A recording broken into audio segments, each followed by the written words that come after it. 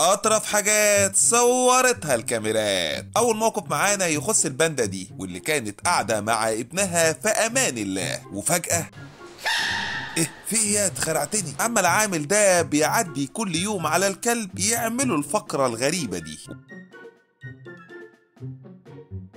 وده لما تبقى بومة بس فرفوش. يو يا صغيري يا صغيري يو يا صغيري. شتورة وشتورة يا حلاوة إيه حلولي. مين اللي عمل لك الشغل ده يا باشا؟ الصنايعية ما عندهاش ضمير. أخيرا قبضت المرتب ده أنا هخرب. ها؟ أما اخينا ده وكلبه فعاملين حفلة راب على الضيق.